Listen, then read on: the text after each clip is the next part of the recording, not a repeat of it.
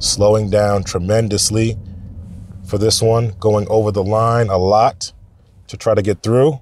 Struggling, no cars are coming. Okay, not a great job, but it's still making it. Very confused. Turn signal is on.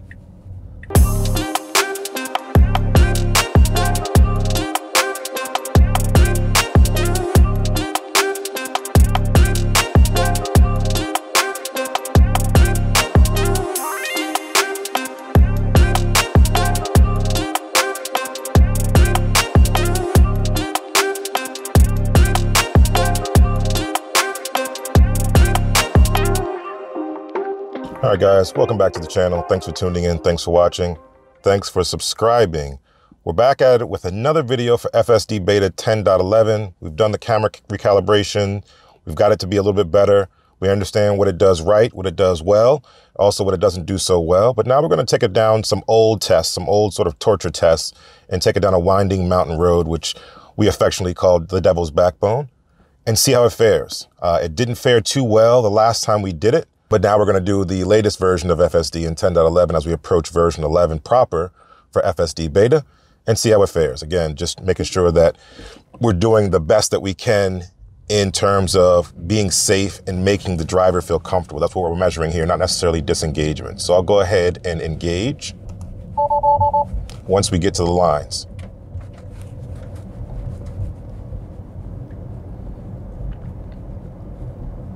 We go. FSD visuals have kicked in. And now we activate. I'll keep it at 25 miles an hour because this is pretty dangerous. I'll be at the ready. And again, just making sure that the car is doing its thing to keep me safe, keep the car safe, keep everyone around him safe. So far, so good. Again, does a great job staying in the lane that's just been par for the course with 10.11, especially after the camera re recalibration for us. Some cars may not need the camera recalibration, so use your own judgment and discretion as to whether you want to do that or not. But otherwise, it's been pretty rock solid in terms of the things that it does well. Any criticisms have to do with, you know, turning specifically. But this, is, this should be a good turning test because the road is very windy and the sun is sort of coming up, so it kind of blinds or obstructs some of the camera sometimes, depending on the angle. So far, so good. As you see here, sharp turn. Does a really good job of staying in the line. Last time we did this test, especially in this upcoming really, really sharp turn, it didn't do a good job staying over the double, staying on this side of the double yellow line. Let's see what happens this time. Slows down nicely. You see how this could be bad very quickly, still going over the yellow line, but still trying to correct itself. So that's pretty good, trying to correct itself. Doesn't get too close to the guardrail, goes over the yellow line for the turn, but then recorrects itself again. So this is something that people would actually do when they make these turns on this winding mountain road, is they'd go over the double yellow line and they would basically correct themselves, especially if no one's around. So far, so good. This is very impressive. This is very impressive stuff.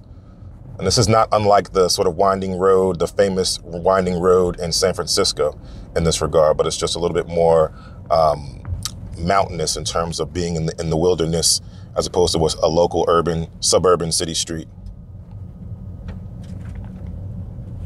Oh, very good. Excellent job here.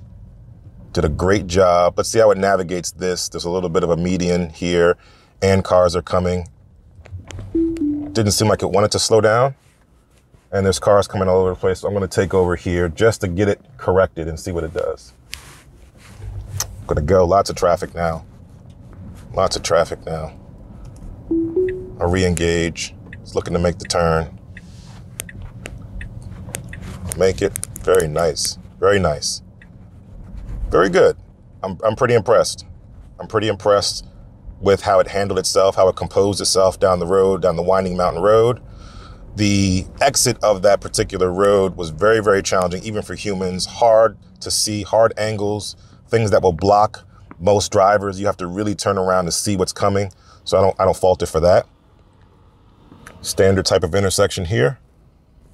Creeping for visibility. Past the bus, and then it proceeds. very nicely. All right, so it did it. It passed the sort of torture test and the winding mountain road better than it did before, so I'm very impressed. Uh, let me know your thoughts in the comments. Let me know what you thought in terms of how this handled this particular turn. Let me know if you've had similar situations or similar uh, drives with FSD Beta 10.11. And let me know your thoughts in the comments. Until the next time, enjoy your day, enjoy your Tesla.